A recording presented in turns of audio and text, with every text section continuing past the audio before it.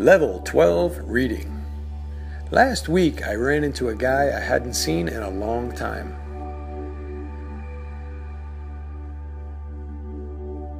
We only spoke for a few minutes,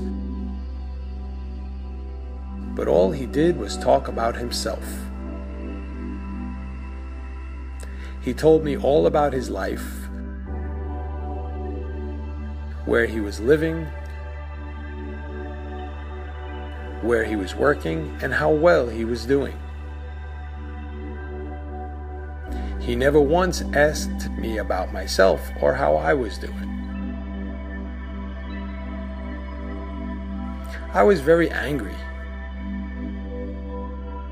Even though I was really glad he didn't ask about me, because I would have had nothing to say. Anyway, people like him drive me crazy. They really get on my nerves. But this guy really got me thinking about myself and my life.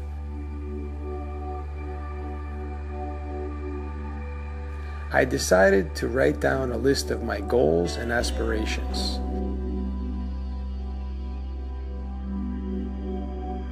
Since then, I have been reading my list every morning and imagining my life how I want it to be. I hope I see all of my wishes come true very soon. I just bought a new cell phone the other day.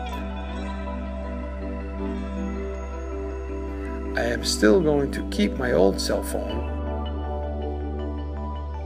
but I will only use it for calling people in Puerto Vallarta.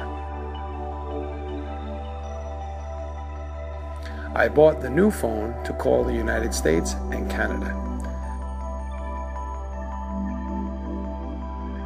Last week, I went to the beach in Punta de Mita with my friends.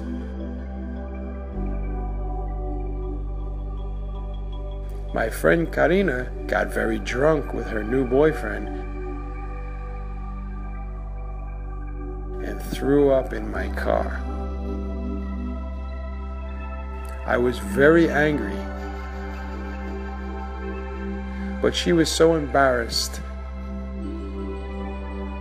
And she apologized so many times that I couldn't stay mad at her. If it had been anyone else, I would still be furious especially if it had been my drunk friend Javier. I am going to go to the beach again next weekend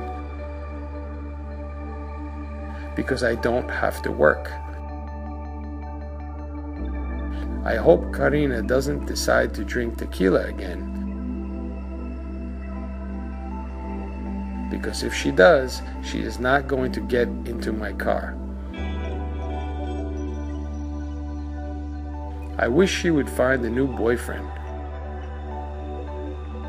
Because this one is a real loser.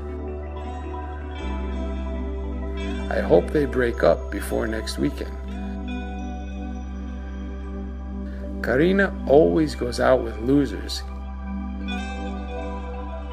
even though she is a very beautiful girl.